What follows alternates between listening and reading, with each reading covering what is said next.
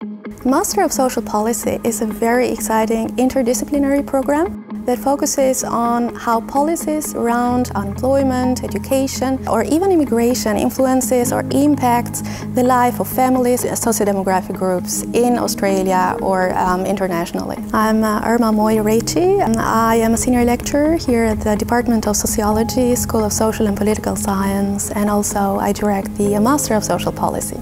Our program is built on key elements. The first is the general foundations that provides them with key ideas and approaches that underpin social policy in Australia, but also comparatively to other countries. The second element is the concentration, where our students have to choose across electives that cut across different disciplines in um, economics, management, population studies.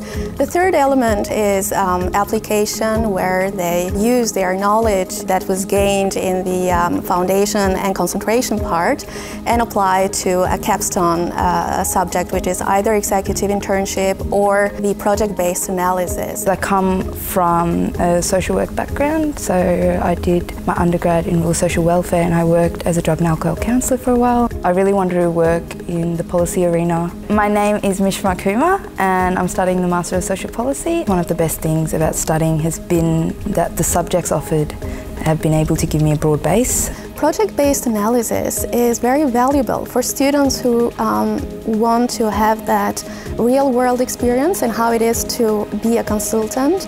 They are engaged in projects uh, with our client organizations and um, they have to focus and study actually uh, projects that come from these client organizations. One of our current projects that we have with the Asylum Seeker Resource Center, this is actually one project that focuses on the matching problem.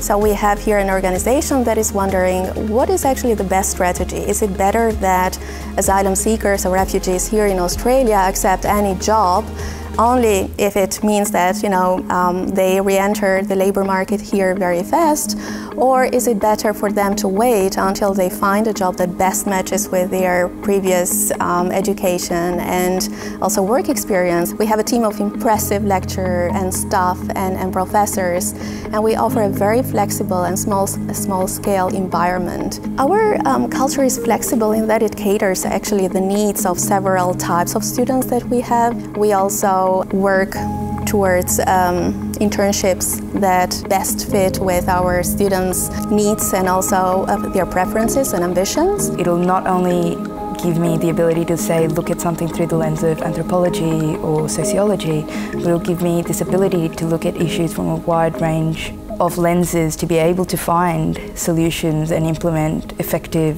and stable policy.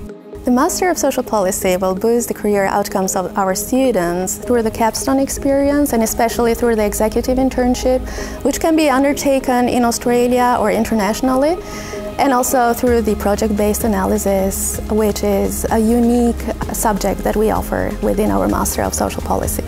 What I hope that our students will know in the end of their studies is that they will know not only about the key concepts and theories underpinning social policies, but also about problems and challenges that arise during the process of implementation or uh, design of social policies. They will be able and have the capabilities to rethink and reshape policies so that they are sustainable across generations.